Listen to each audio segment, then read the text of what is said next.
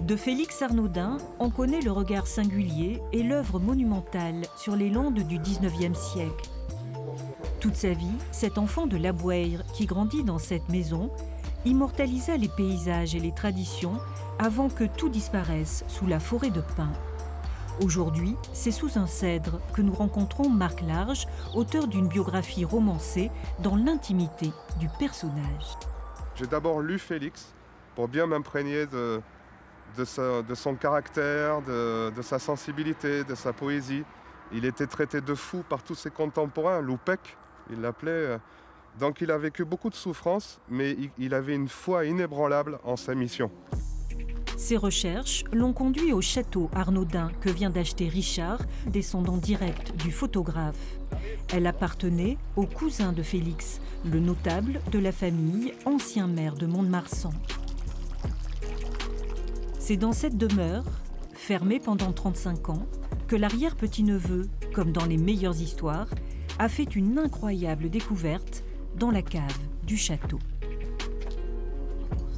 Je me suis aperçu qu'il y avait un, panneau de bois qui était euh, peint.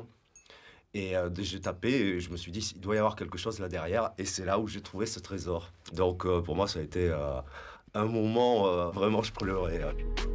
Pêle-mêle, depuis un siècle, dormaient des archives insoupçonnées, comme ces vestiges de sa bibliothèque. Oui.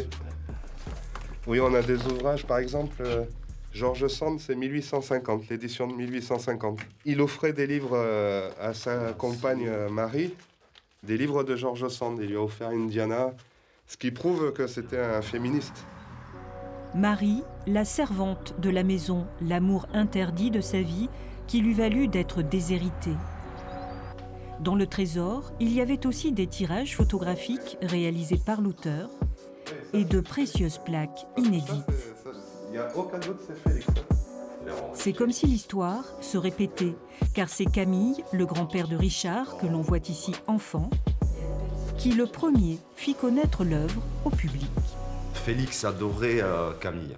Voilà, donc euh, il y a fait parcourir euh, les Landes, faire les, des bêtises comme tous les, tous les jeunes. Euh, il s'amusait beaucoup avec, euh, avec Camille. Et Camille, à la mort de, Félix, a révélé au grand public cette œuvre magistrale que personne ne suspectait.